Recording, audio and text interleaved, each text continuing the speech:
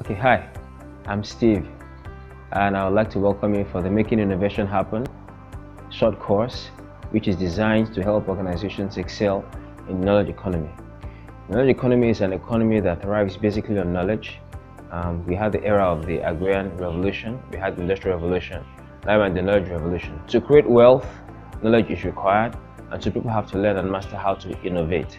Most organizations have ideas, but they lack the ability to innovate. And some think the same way we execute performance engines, the same way that we execute in knowledge economy, um, and that's quite wrong.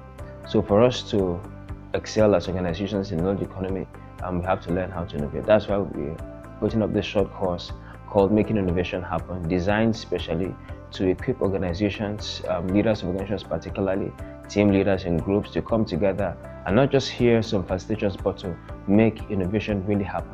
Um, I'd like us to understand that innovation is not the same as a product, but we can innovate products. An idea is not a product. An idea is not a solution. An idea is just a concept.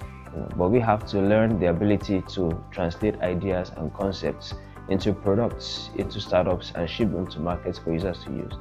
So your comment for this short course will enable you um, to move your ideas from concepts to product to startup to market.